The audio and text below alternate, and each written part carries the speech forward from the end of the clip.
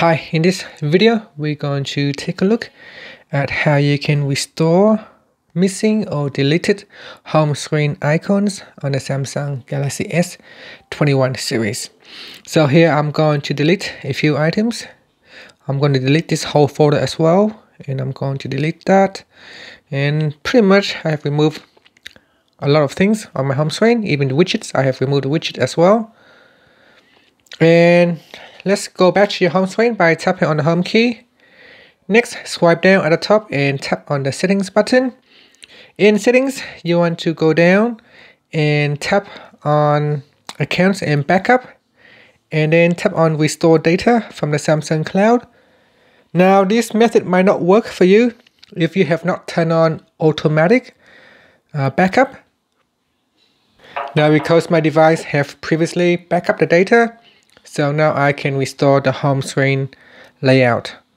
So just uh, waiting for it to load up the data onto my device. And because my Wi-Fi is quite weak, that's why it's taking quite quite some time. I'm going to try and tap on restore data again. It says something went wrong, most likely because it has no uh, connection to the Samsung cloud server.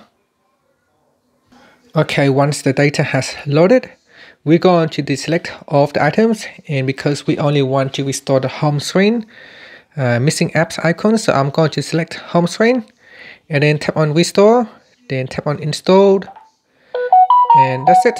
Now we're just going to wait for the restore process to carry out. I'm going to tap on the home screen and home I'm sorry I'm going to tap on the home button to go back to the home screen and we're just going to wait for that to finish. It is still restoring the data right now Okay, now you can see my phone have uh, successfully restored all the icons that we have uh, deleted before. And so that's how you can restore all the missing icons on your Samsung Galaxy S21 series. Thank you for watching this video. Please subscribe to my channel for more videos.